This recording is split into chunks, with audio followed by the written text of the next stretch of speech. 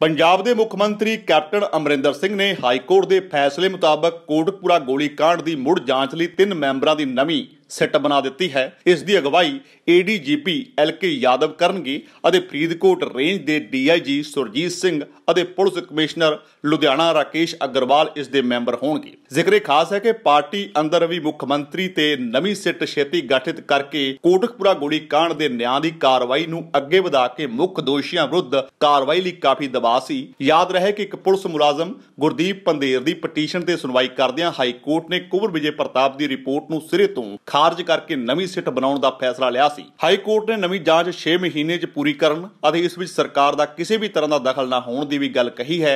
ਸਿੱਟ ਦੇ ਨਵੇਂ member media 'ਚ ਵੀ ਨਹੀਂ ਜਾ ਸਕਣਗੇ ਅਤੇ ਉਹ ਸਾਰੀ ਜਾਂਚ ਅਦਾਲਤ ਦੀ ਨਿਗਰਾਨੀ ਹੇਠ ਹੀ ਹੋਵੇਗੀ। ਇੱਕ ਪਾਸੇ ਪੰਜਾਬ ਵਿੱਚ ਜਿੱਥੇ ਕਰੋਨਾ ਮਹਾਮਾਰੀ ਦੀ ਚੁਣੌਤੀ ਦਾ ਸੂਬਾ ਸਰਕਾਰ ਨੂੰ ਸਾਹਮਣਾ ਕਰਨਾ ਪੈ ਰਿਹਾ ਹੈ, ਉੱਥੇ ਦੂਜੇ ਪਾਸੇ ਸੱਤਾਧਾਰੀ ਕਾਂਗਰਸ ਅੰਦਰ ਬੇਅਦਬੀ ਦੇ ਗੋਲੀ ਕਾਂਡ ਦੇ ਮੁੱਦੇ ਨੂੰ ਲੈ ਕੇ ਵੱਡੀ ਹਿਲਜੁਲ ਪੈਦਾ ਹੋ ਰਹੀ ਹੈ। ਕੈਪਟਨ ਅਮਰਿੰਦਰ ਸਿੰਘ ਅਤੇ ਨਵਜੋਤ ਸਿੰਘ ਸਿੱਧੂ ਖੁੱਲ੍ਹੇਆਮ ਆਹਮੋ ਸਾਹਮਣੇ ਹਨ। ਹੁਣ ਤਾਂ ਸਥਿਤੀ ਕੁਝ ਹੋਰ ਅੱਗੇ ਵੱਧਦੀ ਵਿਖਾਈ ਦੇ ਰਹੀ ਹੈ ਅਤੇ ਪਾਰਟੀ ਹਾਈ ਕਮਾਨ ਨੇ ਵੀ ਕੈਪਟਨ ਸਿੱਧੂ ਵਿਵਾਦ ਨੂੰ ਲੈ ਕੇ ਚੁੱਪਤਾਰੀ ਹੋਈ ਹੈ। ਸੂਤਰਾਂ ਦੀ ਮੰਨੀਏ ਤਾਂ ਬੀਤੇ ਦਿਨੀ ਪੰਚਕੁਲਾ ਵਿੱਚ ਨਵਜੋਤ ਸਿੰਘ ਸਿੱਧੂ, ਦੋ ਸੀਨੀਅਰ ਮੰਤਰੀਆਂ ਅਤੇ ਕੁਝ ਵਿਧਾਇਕਾਂ ਨਾਲ ਗੁਪਤ ਮੀਟਿੰਗ ਕਰਕੇ ਅਗਲੀ ਰਣਨੀਤੀ ਤੈਅ ਕਰ ਚੁੱਕੇ ਹਨ। ਪਤਾ ਲੱਗਾ ਹੈ ਕਿ ਅਗਲੇ ਹਫ਼ਤੇ ਮੁੜ ਇੱਕ ਹੋਰ ਮੀਟਿੰਗ ਹੋਵੇਗੀ। ਚਰਚਾ ਹੈ ਕਿ ਨਵਜੋਤ ਸਿੰਘ ਸਿੱਧੂ ਵੱਲੋਂ ਕਾਂਗਰਸ ਵਿਧਾਇਕਾਂ ਦਾ ਝੁਕਾਅ ਲਗਾਤਾਰ ਵੱਧ ਰਿਹਾ ਹੈ ਅਤੇ ਇੱਕ ਅਨੁਮਾਨ ਮੁਤਾਬਕ 25 ਤੋਂ 30 ਵਿਧਾਇਕ ਅੰਦਰ ਖਾਤੇ ਉਹਨਾਂ ਨਾਲ ਆ ਚੁੱਕੇ ਹਨ। ਮਿਲੀ ਜਾਣਕਾਰੀ ਮੁਤਾਬਕ ਪੰਚਕੁਲਾ ਵਿੱਚ ਹੋਈ ਮੀਟਿੰਗ ਕਰਵਾਉਣ ਵਿੱਚ ਵਿਧਾਇਕ ਪ੍ਰਗਟ ਸਿੰਘ ਦੀ ਅਹਿਮ ਭੂਮਿਕਾ ਰਹੀ ਹੈ ਅਤੇ ਉਹ ਹੀ ਹੋਰ ਵਿਧਾਇਕਾਂ ਨੂੰ ਲਾਮਬੰਦ ਕਰ ਰਹੇ ਹਨ। ਸੂਤਰਾਂ ਅਨੁਸਾਰ ਸਿੱਧੂ ਦੀ ਪੰਚਕੁਲਾ ਦੀ ਮੀਟਿੰਗ ਵਿੱਚ ਸਿਰਫ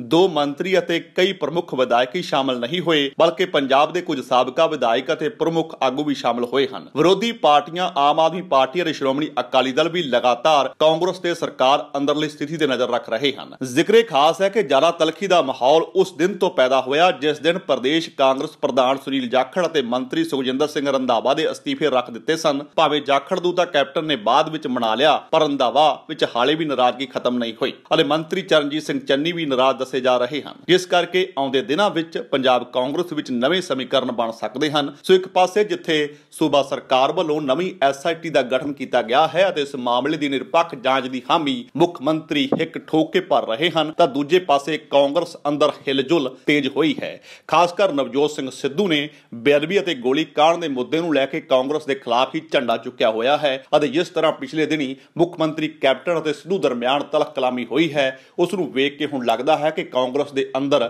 ਕੁਝ ਵੱਡਾ ਵਾਪਰਨ ਵਾਲਾ ਹੈ।